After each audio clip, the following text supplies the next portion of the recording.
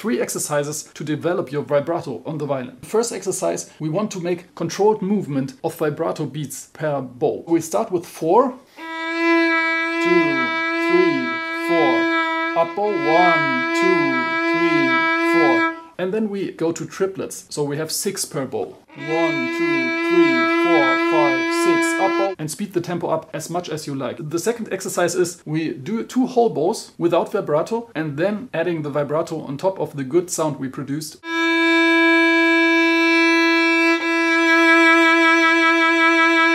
You can do that with all fingers on all strings. The third exercise is also used musically sometimes. We start without vibrato and then develop the vibrato during the bow stroke. No vibrato,